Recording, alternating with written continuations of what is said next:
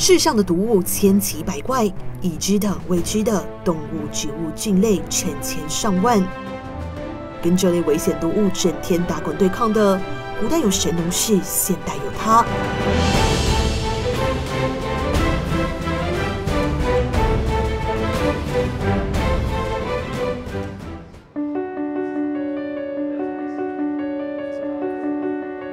双眼专注盯着文献资料，连饭都有一口没一口吃的他，是这次的同行医师杨振昌。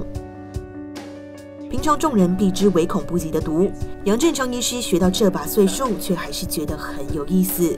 其实我本来也不是要选毒物科，第三年住院医师的时候，刚好轮派到这个毒物科来做住院医师，哎，才发现这毒物科其实非常有趣。一方面它很生活化，它很多元啊，你会觉得说每天好像都在学新的东西。做到现在已经呃做了二十几年，其实我每每天我常常觉得都还很多还有碰到新的新的事物。对，因为毕竟有毒的物质太多了，也因此杨医师必须随时保持对毒物的敏锐度，才能在最短的时间内做出准确判断。例如昏睡、呼吸缓慢、瞳孔缩小的病人，杨医师一看就知道是毒品中毒，立刻能找出相对应解毒剂进行急救。另外，过去常有人误食，只要喝一口就会在几周内导致肺功能恶化，甚至纤维化，最后呼吸衰竭，死亡率高达百分之七十的农药巴拉益。杨医师也曾依靠着经验，及时判断，救回好几个病患。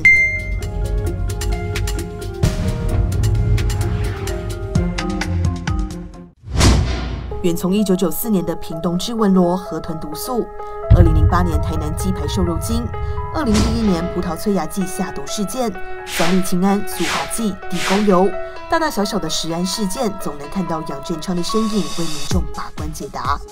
但身为权威，每句话更会被外界加倍检视，没有一点喘息、犯错空间。呃，你讲的话不见得每个人都喜欢听，虽然你讲的是事实，对，但是大家会觉得说啊，他他这个厂商就很黑心，对不对？那我们好像讲的好像这个没有到很严重。然后是不是在帮厂商脱税？其实不是。那我们为什么要讲说这东西没有健康危害那么高？是因为事实上就科学的证据层面来说，它可能真的没有那么高。所以我们会希望消费者不要说，因为我不小心吃到一点点，就担心说我可能以后会怎么样。但是你不应该说是说一定要造成健康危害才要罚。例如它是用这个呃人工的代代替天然的，或者说它用过期的产品或是劣质的产品，这个本来就应该重罚嘛。所以你为什么一定要健康危害？这个这个这个是我今天拿到的这个。因为它字蛮小的，嘿，但是看起来那个标志像是大麻。除了食安风暴的攻击之外，杨医师觉得比毒更难戒的其实是心理的毒。嗯，三不五时就会碰到有人说，他认为他是不是被下毒。像我以前碰过，有的是夫妻感情不和，所以他觉得他的另外一半可能给他下毒，没有很明确证据的话，对于我们来说其实会比较困扰。为什么？因为你常常做了检验也没有问题。那没有问题呢？这个病人他可能不相信，他觉得说。明明我中毒，为什么你验不出来？那当然，这种时候有些病人，他第一个他可能会对我们会不满，所以我曾经碰过有人的投诉啊，说我贪污，真的有交钱去做检验，那个钱也不是进到我口袋嘛，对不对？我以前就碰过一个病人，因为用 K 他命，就后来住到加护病房，后来也做了治疗，但是他其实 K 他命还在用啊，用安非他命用的时候有幻觉，他自己切手切切手的也碰过啊。心理的问题当然是一定是要处理，我们通常都会找精神科来帮忙。那救回来，我们不希望他再来一次。